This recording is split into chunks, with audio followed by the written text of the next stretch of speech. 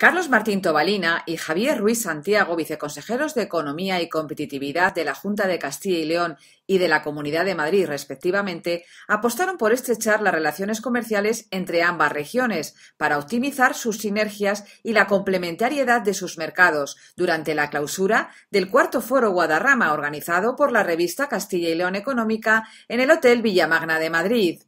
Casi 300 empresarios asistieron al evento, que cuenta con el patrocinio de Bankia, la Junta de Castilla y León y la Comunidad de Madrid, así como con la colaboración de Iberaval, Ibeco, Saeta Diecasten y Aval Madrid, y el apoyo de Empresa Familiar de Castilla y León, la Asociación para el Desarrollo de Empresa Familiar de Madrid, CECALE, CEIN y el Consejo General de Economistas de España. Ambos viceconsejeros destacaron la relevancia del Foro Guadarrama para facilitar el networking entre las empresas y dinamizar los negocios en ambas comunidades autónomas. Además, Martín Tobalina afirmó que a ambos territorios les une la voluntad de dar estabilidad y un marco adecuado a las políticas económicas para que los empresarios puedan conocer las reglas del juego. Por su parte, Ruiz Santiago indicó que las administraciones públicas deben de servir de palanca para aumentar el tamaño de las compañías y facilitar su transformación digital y la internacionalización. En el Foro Guadarrama, que fue inaugurado por Belén Martín Sanz, directora de negocio de Bankia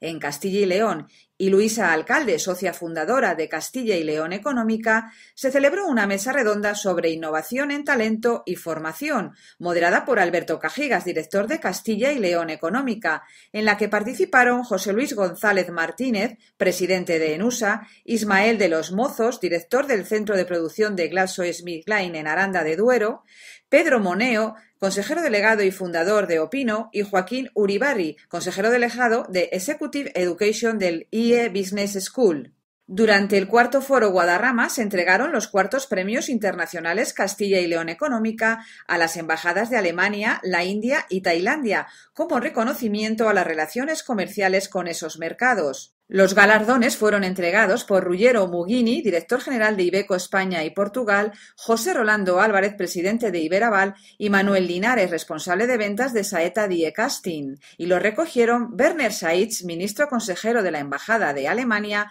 Venkatesh Barna, embajador de la India, y Ratikul Sansurilla, embajadora de Tailandia.